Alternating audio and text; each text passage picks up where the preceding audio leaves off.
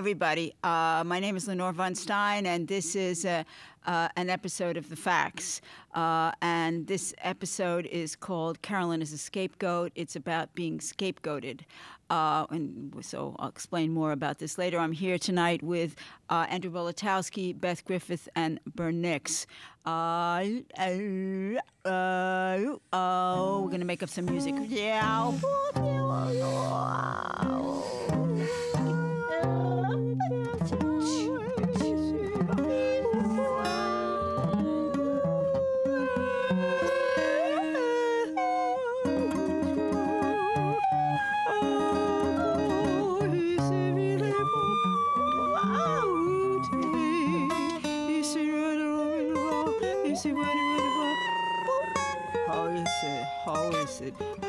Is it? How is it? How is it? How is it? How is it? How is it? How is it? How is it? How is it? How? How is it? How is it? How is it? How is it?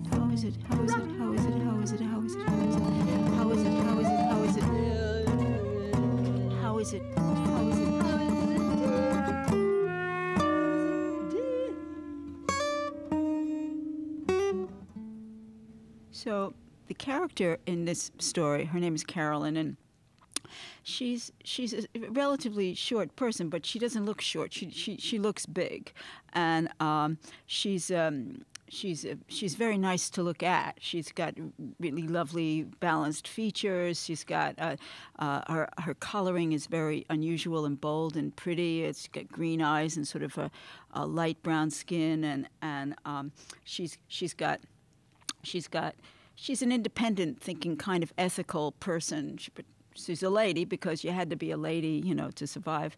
And uh, she's negotiated uh, uh, racism and sexism, and and her father, who's a scary guy, and her brother, who's a bully, and and um, uh, her her her mother, who's frightened, and her sister, who's uh, detached, and uh, and Catholicism, and and and and weaved around danger, and and and a limited education.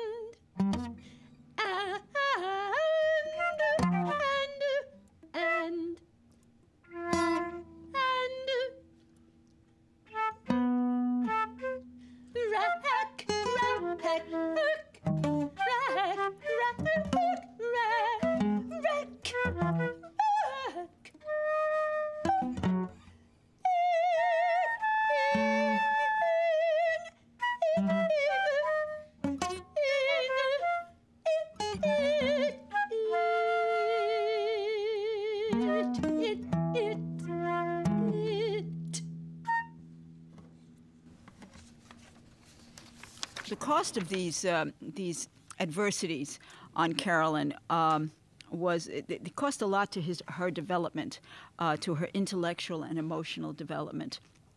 Because they were enormous, because they were so it was so time consuming. You know, each episode and each each recovery from each episode, and the way that she handled most of these episodes was repetitive because you know you she was kind of a desperate situation. So whatever, it was not a time to express yourself.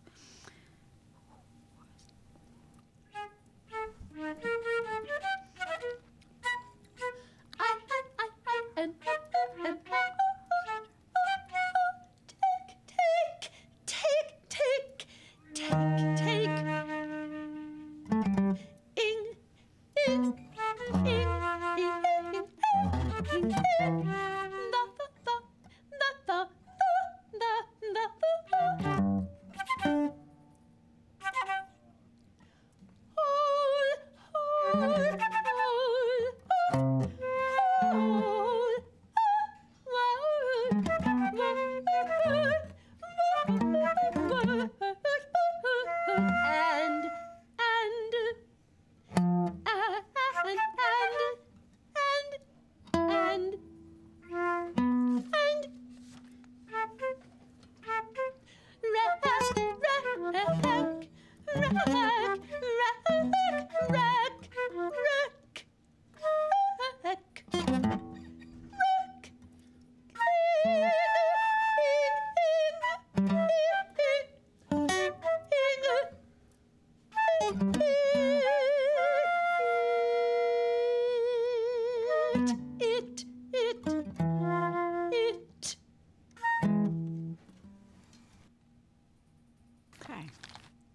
So, some more of the story.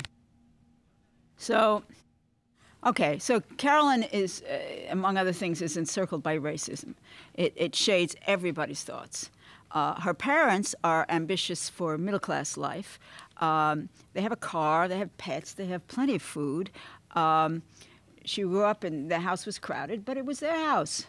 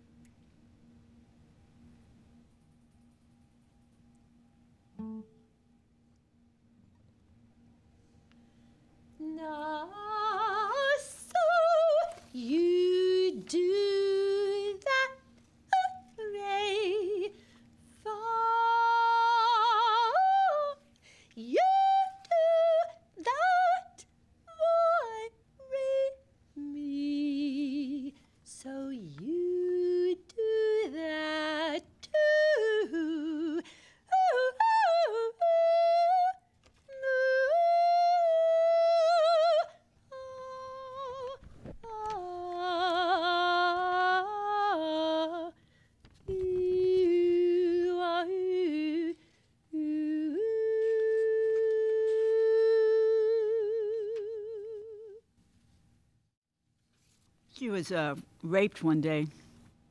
She was dragged into a construction ditch.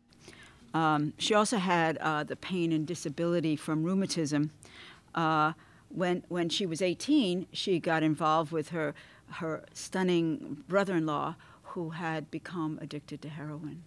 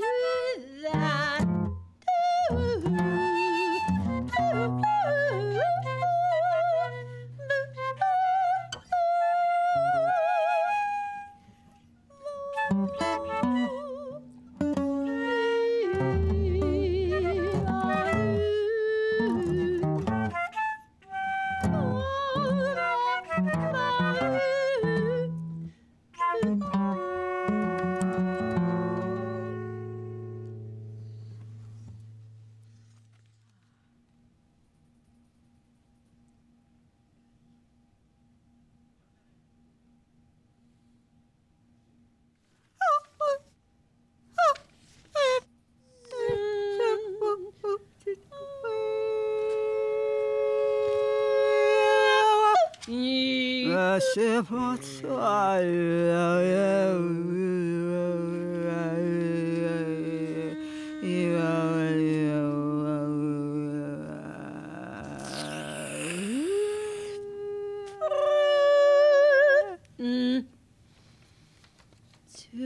a stranger, to a stranger. A stranger. To a stranger. How the hell? are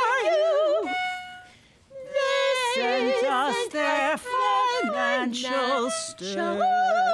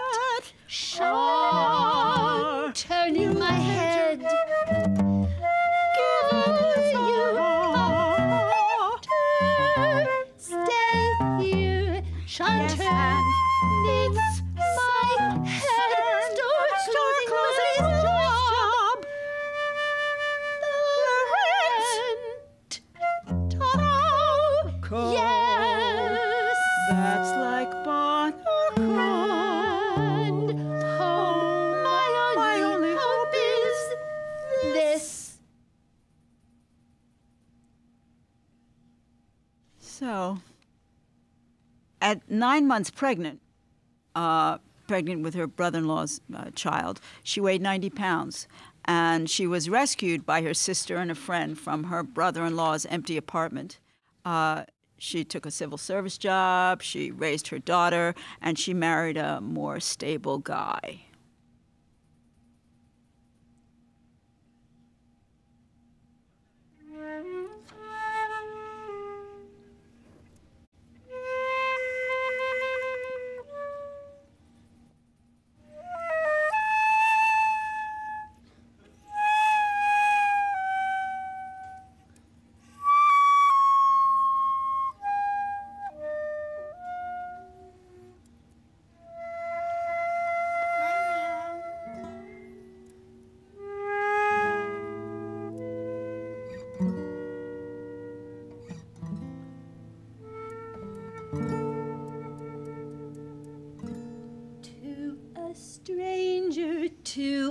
stranger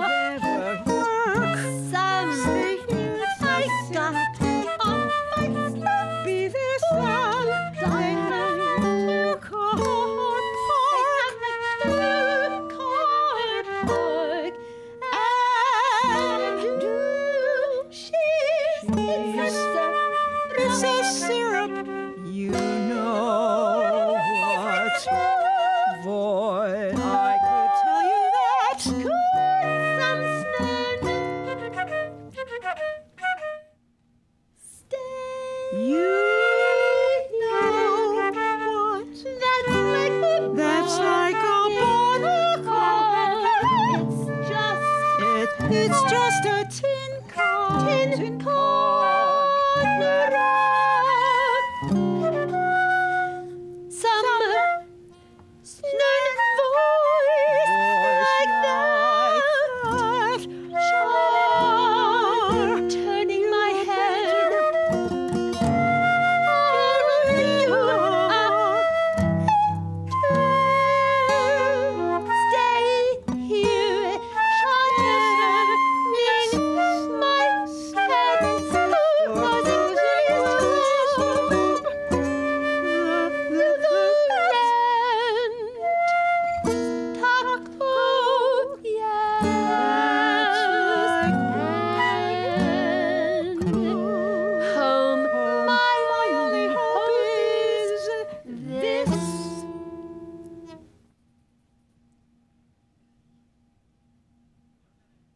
So Carolyn, by her late twenties, uh, she's drinking every day now, and um, her husband, the Stabler guy that she married, uh, he's he's conservative and sensitive like her father. And uh, for a time, she wears a lot of makeup and um, uh, she and these very stiff hairdos, hiding her her natural beauty.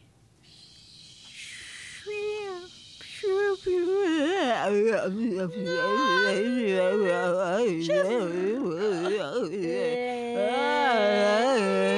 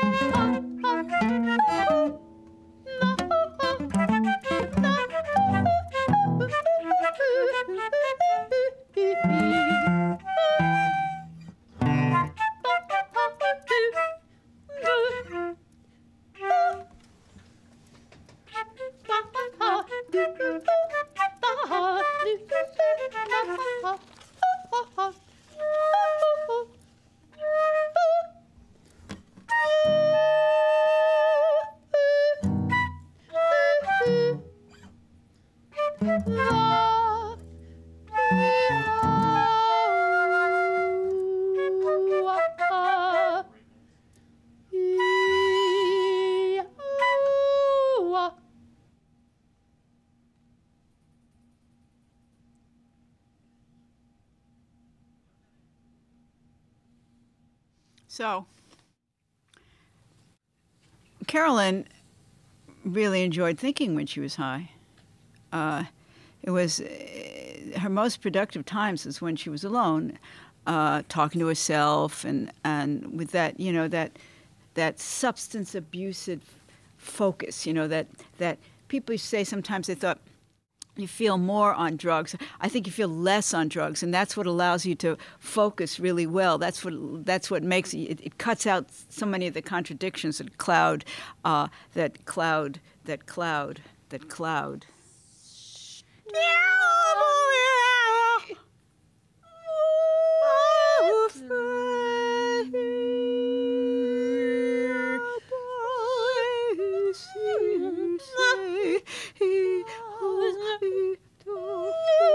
can't see the forest for the trees. And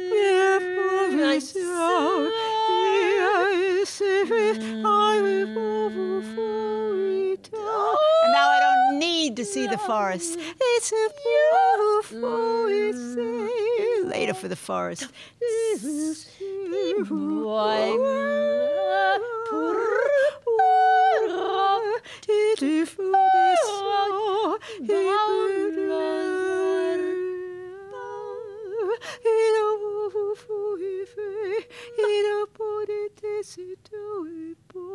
A bad mother. used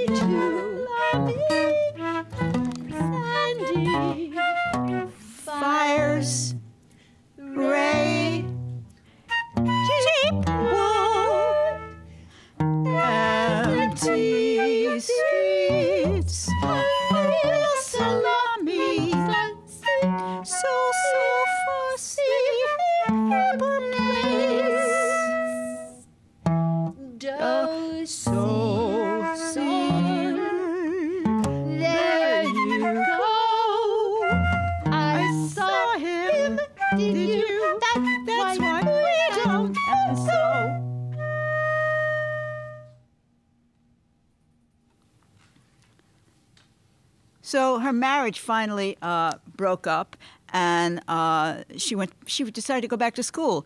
And uh, while she was in school, she had to work a lot, you know, study all the time. So it changed from alcohol to cocaine, and it was available to her there in law school. And you know, drugs of choice are you know what's available. And she became a lawyer, and uh, she moved to the country, and uh, she took up skeet shooting and photography. E Yeah, sure. Yeah. Pow. Pow. Pow. Pow, pow, pow. Jip, jip, jip, jip. Pow, pow, pow, pow, pow. Jip, jip, jip, jip. Pow, pow, pow, pow, pow, pow, pow, pow.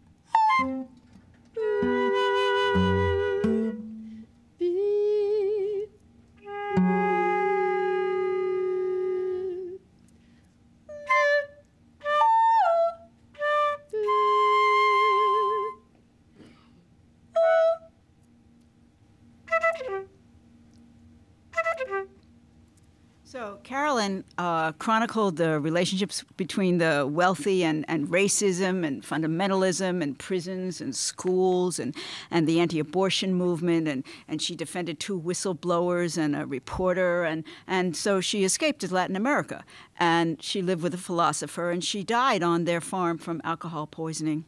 Uh, she came back as a rabbit and then as a horse, uh, as Zeus, and then as herself. Uh, there's a, a portrait of her in the Prado. And so let's take this out right now, just like Carolyn.